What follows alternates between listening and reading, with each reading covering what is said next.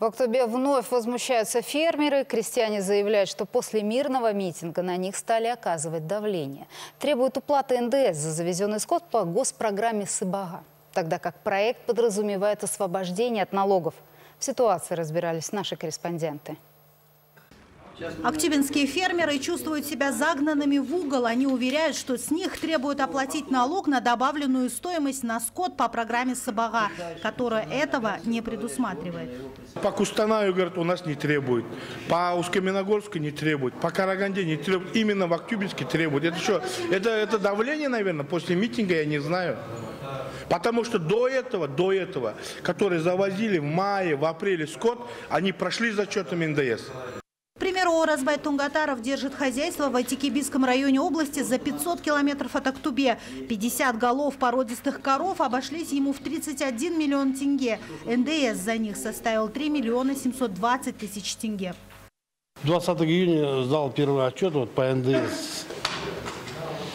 Монитировку прошла, все прошло.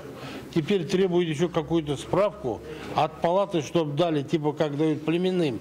Ну, у нас чистопородная.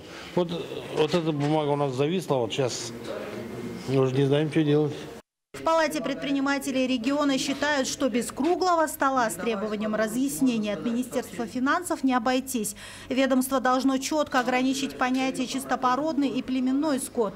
По программе «Сабага» за племенной скот не надо платить налоги. Проблема в том, что в России, откуда скот завозится, применяют оба понятия.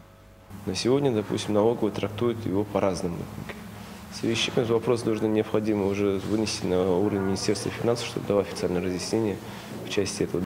Фермеры говорят, что помимо налогов им надо запасаться кормами на зиму. В то же время они не могут получить субсидии. Долг по ним у государства только по Актюбинской области до конца года составит около 6 миллиардов тенге. Отчаявшиеся фермеры готовы выйти на республиканский митинг, чтобы их услышали. Эльмира Ержанова, Жомарт Кутайбергенов, Информбюро, Актюбинской области.